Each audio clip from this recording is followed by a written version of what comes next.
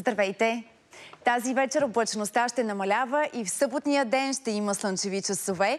Денят ще започне с отрицателни температури, предимно от минус 5 до 0 градуса, но през деня ще се затопли и максималните стойности ще бъдат между 8 и 13 градуса. В София максималната температура ще бъде около 8 градуса. Вятърът утре ще бъде умерен в Дунавската равнина и в планинските райони, силен от запад-северозапад. В планините облачността ще бъде променлива. Повече облаци ще има преди обяд в масивите в западна България и на отделни места там ще превали съвсем слаб сняг.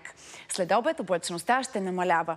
Вятърът в планината ще бъде умерен до силен от северозапад. Температурата на 1200 метра височина ще бъде около 3-4 градуса, на 2000 метра минус 2. През следващите дни ни очаква ветровито време. Ще се затопли обаче още. Сутрешните температури в цялата страна вече ще бъдат положителни, предимно между 3 и 8 градуса, а дневните стойности ще бъдат около и над 15 градуса, а в понеделник до цели 20 градуса в някои населени места. Ще има много слънчеви часове през новата седмица и пролетни температури. Такава е прогнозата. Сега започва Кой да знае. Приятно гледане!